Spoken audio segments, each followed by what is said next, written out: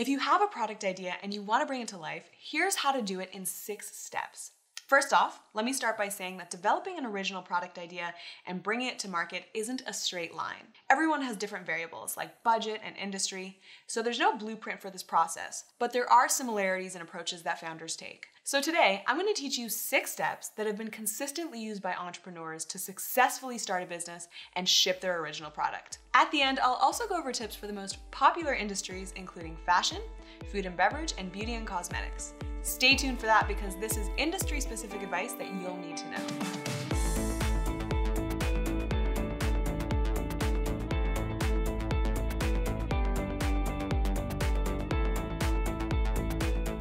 Everyone, hope you're all doing well. My name is Michelle Bally and I'm your host. So, I myself have brought my own makeup line to life and I've been through the product development process firsthand. The product development process can be broken down into six steps ideation, research, planning, prototyping, sourcing, and costing. The first step is coming up with the idea. Even though this is the first step, many entrepreneurs get stuck here because oftentimes people are waiting for a stroke of genius to reveal the perfect new product idea. Obviously, building something totally new can be fulfilling, but keep in mind that many of the best ideas are the result of iterating upon an existing product. So, for example, the Dyson vacuum, in my opinion, is one of the best inventions to exist. Was it the first vacuum to be created? No.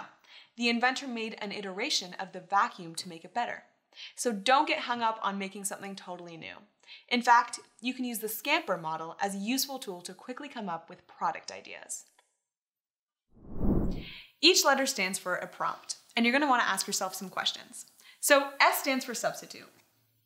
Ask yourself, what materials can you substitute to improve the product? Can you use this product somewhere else or as a substitute for something else? So an idea off the top of my head is you could create dumbbells that use a substitute material which prevents calluses and gym hands. C stands for combine. What would happen if you combined one product with another product to create something completely new? And what would happen if you combined purposes or objectives? Let's take Bluetooth earbuds for example. Earbuds weren't new, and neither was Bluetooth technology, but combined together, a new product was developed. And next up is adapt. This refers to brainstorming ideas to tweak a product for a better output. So ask yourself, what do we need to change in order to reach better results? So let's say the issue isn't the product itself, but maybe there's just not enough of the product to meet demand. In that case, you'd adapt the manufacturing process and keep the product the same. M stands for modify. Here, you think about how you can modify systems and processes in order to disrupt an industry.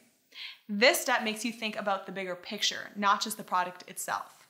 So you ask yourself, how can we change the process in order to work more efficiently?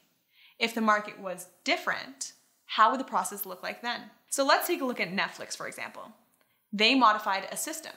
They modified the way that people consume movies in order to disrupt the film industry. Let's look at put to another use. So we touched on this briefly, but this technique goes into depth about how to shift an existing product to another market segment or user. So ask yourself this. What are the benefits for the product if used elsewhere? Can we recycle another industry's waste for a different use? Next is eliminate.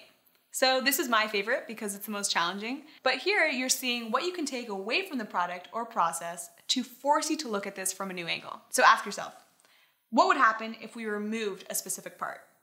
And if we had to strip the product down to its essentials, what parts would we keep? And the last one is reverse. So innovating can happen simply by changing the order of the process. Ask yourself, what would happen if we produce this backwards? How can we rearrange these steps for a better outcome? As you're doing this method, keep in mind that someone once said, there is nothing new under the sun, but there are lots of old things we don't know. This method really works when you set a timer for three minutes. So just jot things down, everything that just comes to mind, unfiltered, and you'll activate the subconscious and potentially transform existing ideas.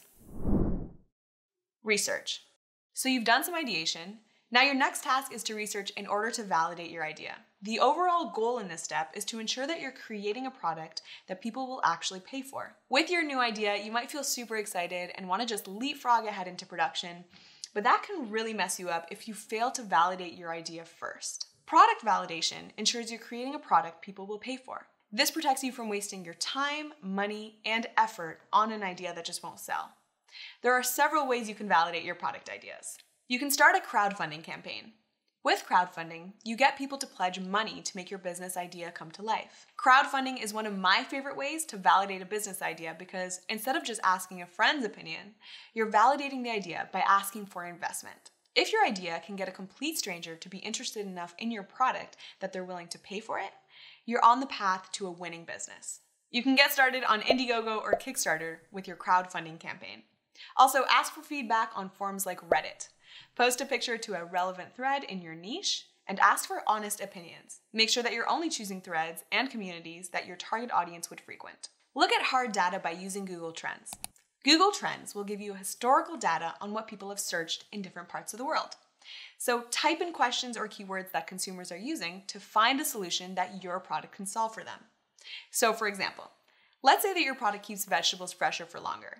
If you use Google Trends to search for keywords like how to keep vegetables fresh, and you see that a lot of people are searching for it, then you have an indicator that your product might be needed. Doing your due diligence during the validation stage is important, but know that you can never 100% validate an idea. There will always be external factors that can't be controlled or predicted. That being said, however you decide to go about validating your idea, it's important to get feedback from a substantial and unbiased audience as to whether they would actually buy your product. Be wary of overvaluing feedback from people who would definitely buy if you were to create your theoretical product. Because until money changes hands, you cannot count someone as a customer. Validation research will also inevitably involve competitive analysis. If you've got a solid idea, chances are there are already players in this space. Do a bit of sleuthing by visiting your competitors' websites and signing up for their email. That way, you'll see how they're marketing and how they're making sales. All in all, once you've completed the research step, you'll be able to answer these two questions is there demand for my product? Can I differentiate myself from my competitors? If the answer is yes to both, we'll move on to the next step planning.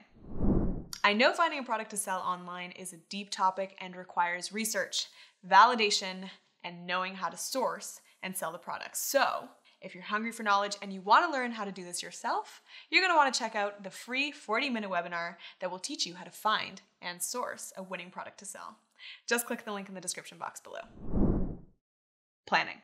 When you eventually approach your manufacturers to build your first prototype, you're gonna wanna have a concrete idea of what your product's design is and how it will function. So it's important to take the time to plan before you jump into the prototyping. The best place to begin planning is with a hand-drawn sketch of what your product will look like. The sketch should be as detailed as possible. Use labels explaining the various features and functions. Now, you don't need to be a professional quality drawer since you won't be submitting this to the manufacturer at this stage. But if you're not confident in your sketching ability, it's easy to find illustrators for hire on Dribbble, Upwork, or 99 Designs. The diagram should have a list of the different components or materials. The list doesn't need to be inclusive of every single detail, but just the important ones so that you can start planning what you need in order to create the product. For example, a drawing of a purse design could be accompanied by this list zippers, large and small, vegan leather straps, protection pouch, embossed label, and interior wallet. After that, start thinking about what category your product will fall into. Will the product be an everyday item or will it be for special occasions? Will it use premium materials or be environmentally friendly? Think about the packaging, labels, and overall quality of your materials before you start sourcing and costing. These are all questions to consider in the planning phase since they will help you not only with the product development, but your marketing as well. Prototyping. The goal of the prototyping phase is to create a finished product as a benchmark sample for mass production. I'll tell you that it's unlikely you're going to get your finished product in a single attempt. You'll have to experiment with several versions. You'll have to slowly eliminate options and make improvements until you feel satisfied with your final sample. Prototyping also differs significantly depending on the type of product you're developing. In the cheapest and simplest case, you can prototype yourself. This would apply to food recipes, cosmetic products, and clothes, assuming that you have the skill set. However, more often than not, entrepreneurs will work with a third party to prototype their product. In fashion and apparel, this usually involves working with a local seamstress for clothing and accessories. You can even get in touch with a cobbler for shoes. You can really easily find someone local to you by using Google. If you live in a large city, you can tap into student talent through universities and colleges. Administrators from these universities or college programs can usually grant you access to their internal job board, where you can create a request for prototyping help. For objects like toys, household accessories, electronics, and many other hard or plastic objects, you might need a 3D rendering in order to make a prototype. Artists or engineers who are trained in design and drafting software like CAD can be contracted to do this. Check out Freelancer to find someone. There are also user-friendly tools like SketchUp, Tinkercad, and Vectary. If you're a founder that wants to learn how to create 3D models yourself, you can save money and have more control over this. After you have a 3D design on the computer, you'll need to turn it into a physical model. Makers used to have to get molds made for each part, and molds are pretty expensive. But luckily, with the innovation of 3D printing, designs can be turned into physical samples at a much lower cost with a quicker turnaround time. After you have a prototype that you're happy with, the next step is the sourcing phase. So you're gonna wanna gather the right materials, find the right partners, and then after you'll go into the production phase. This right here is also referred to as the supply chain. The supply chain is the vendors, the activities, and the resources that it takes to get a product into the customer's hands. This phase also includes finding the right warehouses, figuring out your shipping situation, but for the most part, you'll probably be looking at finding the right manufacturers. I don't know if you've ever read the book Shoe Dog, but it's a memoir by the founder of Nike. It showed me the importance of diversifying your supply chain. You should find multiple suppliers for the different materials that you will need. And you'll also want to find two different manufacturers. Having a backup manufacturer will allow you to negotiate costs for one, but it'll also allow you not to be overly dependent on just one manufacturer. If you don't have a second option, you'll be at their mercy if they're late on orders or if they suddenly decide to increase their prices on you. Sourcing several options is an important part of safeguarding your business for the long term. When it comes to looking for suppliers, there are plenty of resources both online and in person. This might seem old school, but many business owners will attend trade shows dedicated to sourcing. Trade shows like Magic in Las Vegas provide the opportunity to meet hundreds of vendors at once to see, touch, and discuss materials and build personal relationships with the suppliers. Trade shows can be valuable when it comes time to negotiating prices. It also saves you time to see everything in one day rather than waiting for everything to be shipped to you. So try looking at trade show exhibitor lists online. Costing. After research, planning, prototyping, and sourcing is done, you're gonna have a clearer picture of what it will cost to produce your product. Costing is the process of taking all that information gathered so far and adding it up to see what your cost of goods sold will be, otherwise known as COGS. Next, you can determine a retail price and gross margin. Begin by creating a spreadsheet with each additional cost broken out as a separate line item. This should include all of your raw materials, factory setup costs, manufacturing costs, and shipping costs. It's important to factor in shipping, import fees, and any duties in order to get your final product into your customer's hands. Don't forget to include this, as these fees can have a significant impact on your COGS, depending on where you're producing the product. If you want this product pricing calculator, I'll make sure to leave it in the description box for you. If you were able to secure multiple quotes for different materials or manufacturers, you can create a second version of the spreadsheet so that you can compare. This is also helpful if you're comparing local production versus overseas production. At a glance, it might look cheaper to go overseas, but once you input your duties, your taxes, and shipping, you might be surprised. Once you've calculated your total COGS, you can come up with the retail price for your product and subtract the COGS from that price to get your potential gross margin or profit on each unit sold. Let's take a look at the three most popular industries with specific tips, starting with fashion and apparel. Tips for developing a new fashion product. In the fashion industry, product development usually begins the old school way, with a hand drawn sketch, or the digital equivalent made using a program like Procreate. A sketch is then developed into a sample using a pattern maker or a seamstress. During the prototyping phase, a size set is created, which means a range of samples with different measurements for each size you want to sell. Once the size set is finalized, it is then put into production.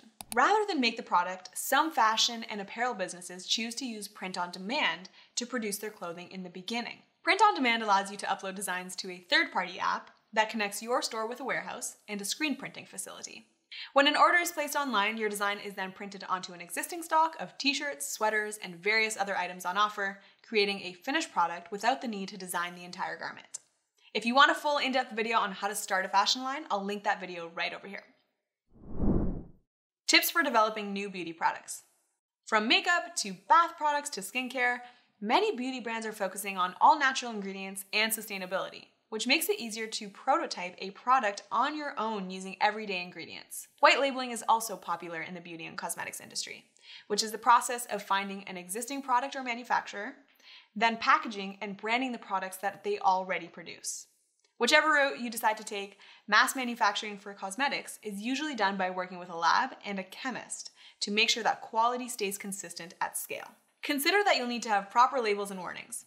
Research FDA regulations and how they pertain to your product and packaging, both where they are produced and where you intend to sell them. You'll also need to conduct tests and add necessary expiration dates that indicate shelf life. Tips for developing new food products.